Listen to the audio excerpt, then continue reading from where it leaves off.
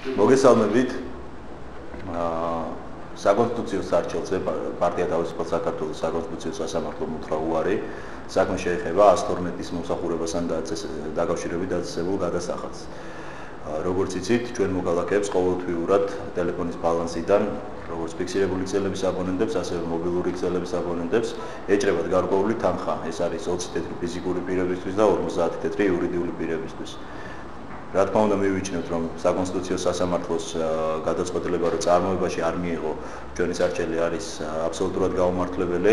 ვინაიდან მართლაც სახეზე აქვს საკუთრების უფლების შეზღუდვა რომელიც კონსტიტუციით არის გარანტირებული გულისხმობ იმას რომ პრაქტიკულად ჩვენს მოქალაქეებს უწევთ გადახდა საფასურის მომსახურებისთვის რომლითაც შეიძლება საერთოდაც არ უსარგებლიათ. მინდა გითხრათ რომ საქართველოსში არის 3 მილიონი 710 000 ფიქსირებული ქსელის აბონენტი და ასევე ა 1.255.000 მობილური აბონენტი, მობილური ოპერატორის აბონენტი და გამოდის რომ პრაქტიკულად ყოველთვიურად მილიონზე მეტი ლარის ამოღება ხდება ამ გზით მოსახლეობისგან და საინტერესო არის და დიდეჭვს ბადებს ამ თანხების ხარჯვის ნაწილი, ვინაიდან თავად ამ 112-ის სამსახურშიც არის სერიოზული პრობლემები, რომლებზეც უკვე დაწურლებით მოგახსენებთ ლადო ბულბულაშვილი. მოგესალმებით. ჩვენ როდესაც ეს სარჩელი შევიტანეთ, ჩვენ ბრიფინგიც გავაკეთეთ და მაშინ მე რიან განაცხადა, რომ ეს იყო საფასური იმისათვის, რომ მეხანძრეებს, მაშველებს, საპატრულო პოლიციას აა შექმნათ კარგი პირობები ხელფასები მათი გაზრდილიყო. რეალურად ჩვენ ახალგაზრდულმა ორგანიზაციამ, თავისუფალი საქართველოს ახალგაზრდულმა ორგანიზაციამ შეისწავლა და აღმოჩნდა, რომ ყველაზე მაღალი რანგის მეხანძრეს ან მაშველს, რომლებიც უშუალოდ ასრულებენ ყველანაირ დავალებას, რომლებიც საკუთარ სიცოცხლის რისკად გადიან იმისათვის, რომ გადაარჩინენ ესა თუ ის მოქალაქე ან ესა თუ ის სახლი დაწვას, მათი მაქსიმალური ხელფასი შეადგენს 550 ლარს.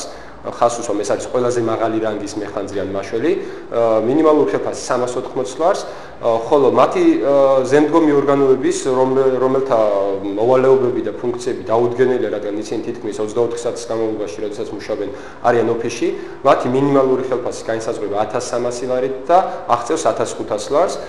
ეს ადამიანები მხოლოდ და მხოლოდ მაშინ ჩნდებიან იმ ადგილზე, სადაც რაიმე უბედურება ხდება, როდესაც იქ მიდის ტელეკამერები და ძირთადად შემოიფარგლებიან ინტერვიუების მიცემით ხოლმე. აგრეთვე უნდა აღნიშნოს, რომ სამუშაო პირობები არის ძალიან ცუდი, არ შეესაბამება ევროსტანდარტებს. ადამიანებს უწევთ ხშირ შემთხვევაში მაშველებს და მეხანძრეებს რამოდენიმე ობიექტის გარდა ისეთ საცხოვრებელ პირობებში ცხოვრება, რომელზეც რა თქმა უნდა ვერ ვილაპარაკებთ როგორც ევროსტანდარტის პირობებზე.